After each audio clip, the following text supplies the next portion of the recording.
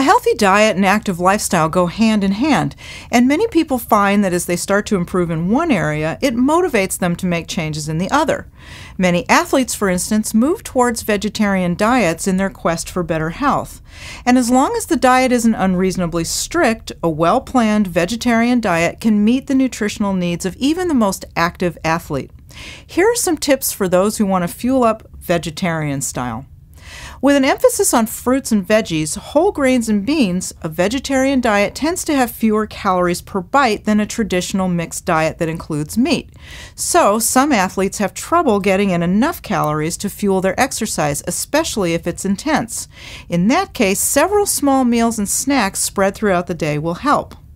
Plant sources of protein aren't quite as digestible as animal sources, so vegetarians might need to bump up their intake a bit in order to meet needs. Beans, lentils, and soy products like tofu are important staples, and protein powders can be added to soups, hot cereals, and protein shakes.